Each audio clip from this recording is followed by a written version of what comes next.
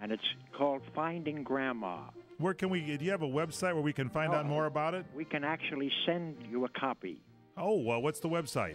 It's uh, well, I, I I don't know that offhand. I mean, I, when I, I mean, the website. I, I, I, That's I'll- right, we can find yeah, it. I'll yeah, we'll we'll find it if you can get it to us. We'll- we we'll- get it out there, Martin. I'll I'll send it. You know, find. I'll call Gretchen and, and tell her to send it to you. Hey, Martin Marty, I'll Landau. see you January on the PBS special.